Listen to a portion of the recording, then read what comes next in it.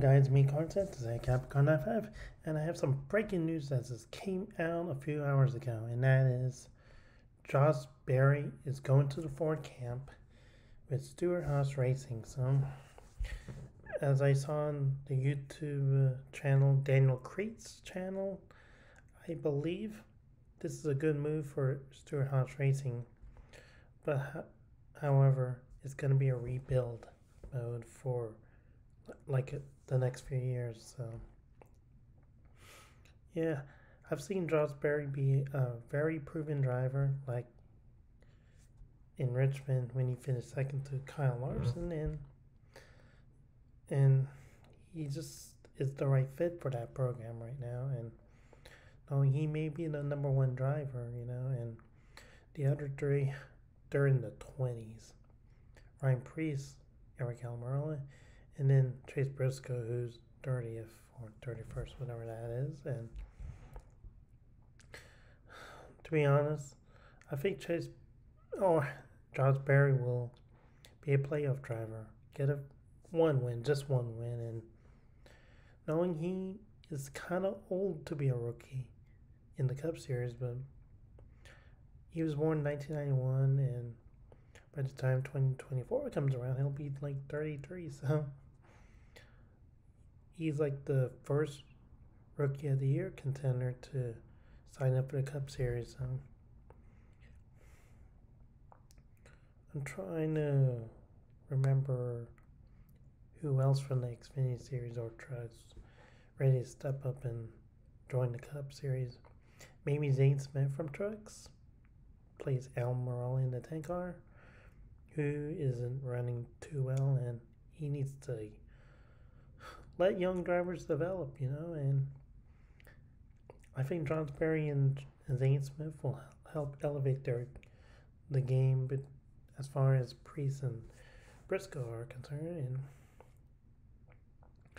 so, anyways, here's this article from Jayski.com, and it's and it says that they're gonna have a major announcement on Wednesday at 1 p.m. Eastern time. So if you're on your NASCAR app or on a laptop, type NASCAR.com and you'll see the live uh, ticker or the the red recording screen that you always see in YouTube videos. Click on that and you'll be able to see the Stewart-Haas Racing News Conference with Tony Stewart, Kevin Harvick, Rodney Childers, and Greg Zipadelli being in attendance. Uh, Yeah, looks like Rick Hendrick's team is out of seats as the four drivers, Alex Bowman, William Byron, Kyle Larson, and Chase Elliott, are really good. Really good. I mean, that their rise will not be taken unless Bowman. Yeah, I think Bowman's the only driver that might have a hot seat next few years if he like doesn't do anything in the playoffs. Otherwise, guys in the Xfinity Series, the Trucks, or a free agent in Cup next few years will take his ride. But so let's scroll down and see old news.